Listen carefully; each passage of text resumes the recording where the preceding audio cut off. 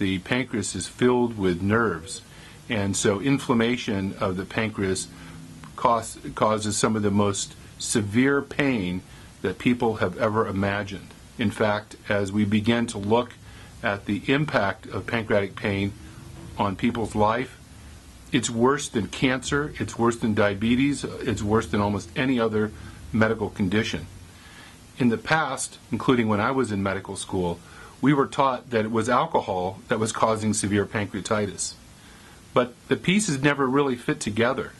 It turns out that only 2 to 3 percent of people who drink large amounts of alcohol every day develop pancreatitis. Okay, so what does cause pancreatitis in people that don't have any single uh, obvious cause? And what we've discovered is that it's something called complex genetics.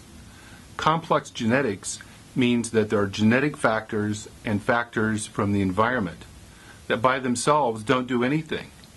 But if they mix in certain combinations, they can cause severe disease in those people. The pancreas is the perfect organ to try to understand what causes complex diseases because it's very simple and it's protected from the environment.